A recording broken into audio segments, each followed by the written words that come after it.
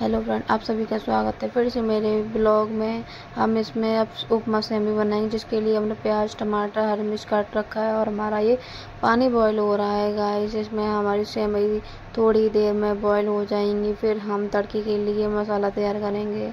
तो गाइस अगर आपको मेरी ये वीडियो पसंद आए तो प्लीज़ ज़्यादा से ज़्यादा लाइक एंड सब्सक्राइब और कमेंट कीजिए, जिससे कि मुझे थोड़ा मोटिवेट मिल सके। प्लीज़ गाइस तो हमारी सेवई ये बॉईल हो चुकी हैं। अब गाइस हम थोड़ा तड़के के लिए थोड़ा इसमें ऑयल डालेंगे कढ़ाई में। इसमें डालेंगे हम जीरा और फिर हम प्याज और मिर्च और टमाटर डालेंगे। तो तब तक ये हमारा मसाला तैयार होगा। जीरा डाल दिया प्याज डाल दिया गाइस हमने। और हम इसमें हरी मिर्च डालेंगे ऐड करेंगे गाइस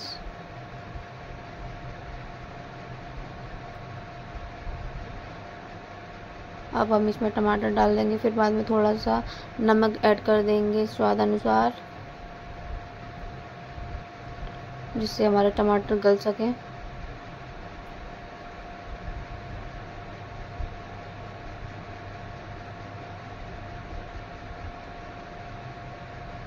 इसमें थोड़ा सा नमक ऐड करेंगे। फिर हम इसमें डालेंगे थोड़ा सा धनिया पाउडर, थोड़ा सा लाल मिर्च पाउडर और थोड़ा सा हल्दी पाउडर। गाइस, जिससे स्वाद और बढ़ जाएगा। फिर हम सेमी को डाल के थोड़ा सा इसमें मैगी मसाला भी ऐड करेंगे।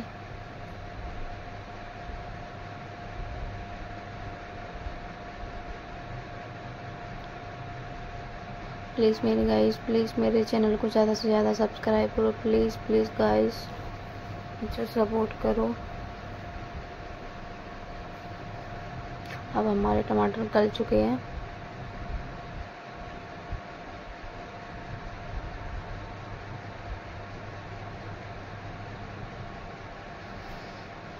टमाटर गल चुके हैं गाइस अब इसमें हम लाल मिर्च ऐड करेंगे। सूखा धनिया पाउडर, हल्दी पाउडर। अब इसमें हम सेमी डाल देंगे। बाद थोड़ा सा मैगी मसाला भी डालेंगे, फिर बाद में थोड़ा सा नींबू ऐड करके बड़ी स्वादिष्ट और धनबू धनिया के पत्ते भी डाल देंगे। गाइस बहुत ही स्वादिष्ट बनी थी। आप भी ट्राई करना, बहुत ही लाजवाब बनेंगी। Thank you so much guys